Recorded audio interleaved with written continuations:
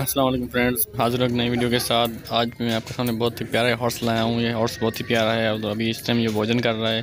अगर अभी तक आपने मेरा चैनल सब्सक्राइब नहीं किया तो जल्दी जल्दी सब्सक्राइब कर दें और साथ साथ बेल आइकन में भी क्लिक कर दें ताकि मेरे आने वाले वीडियोज़ की नोटिफिकेशन आपके, आप तक बसानी पड़ सके। और अगर आपको वीडियो अच्छा लगे तो लाइक भी कर दीजिएगा।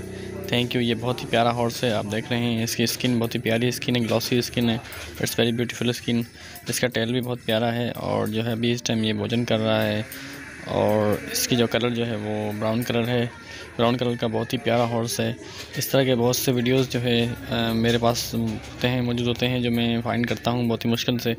तो इस तरह के वीडियोस देखने के लिए आप मुझे मेरा चैनल को सब्सक्राइब करें लाइक करें और साथ साथ शेयर भी करते हैं ताकि इस तरह के मज़ीद वीडियोस आप आसानी देख सकते हैं देख सकें।